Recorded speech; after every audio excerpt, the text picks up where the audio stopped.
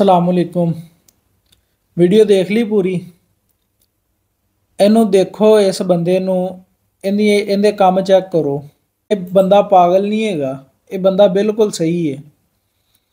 ਇਹ ਬੰਦਾ ਆ ਕੇ ਇੱਥੇ ਆਪਣੇ ਸਿਰ ਦੇ ਵਿੱਚ ਜਿਹੜਾ ਨਾ ਮੱਝਾਂ ਦਾ ਫੁਜ਼ਲਾ ਆਪਣੇ ਸਿਰ ਤੇ ਪਾ ਰਿਹਾ, ਆਪਣੇ ਉੱਪਰ ਸਿੱਟ ਰਿਹਾ ਬੰਦਾ ਫੇਮਸ ਹੋਣ ਵਾਸਤੇ ਕੰਮ ਕਰਦਾ ਪਿਆ। ਇਹਨਾਂ ਲੋਕਾਂ ਨੂੰ ਰੋਕਣਾ ਕਿੰਨੇ ਹੈ ਇਹਨਾਂ ਲੋਕਾਂ ਨੂੰ ਤੁਸੀਂ ਤੇ ਮੈਂ ਰੋਕਣਾ ਹੈ। ਕਿਸ ਤਰ੍ਹਾਂ ਰੋਕਣਾ ਹੈ, ਇਹਨਾਂ ਦੀ ਵੀਡੀਓ ਨਾ ਦੇਖ ਕੇ।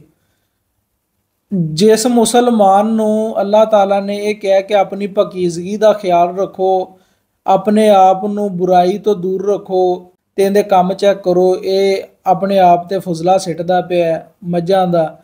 ਜਾਨਵਰ ਇਹ ਆ ਕਿ ਇਹਦੇ ਪਿੱਛੇ ਜਿਹੜੇ ਖਲੋਤੇ ਨੇ, ਉਹ ਜਾਨਵਰ ਨੇ। ਸਫ਼ਾਈ, ਨਿਸਫ ਇਮਾਨ ਕਿਹਾ ਗਿਆ ਹੈ ਤੇ ਇਹ ਬੰਦਾ ਆਪਣੇ ਸਿਰ 'ਚ ਗੋਬਰ ਪਾ ਰਿਹਾ ਹੈ।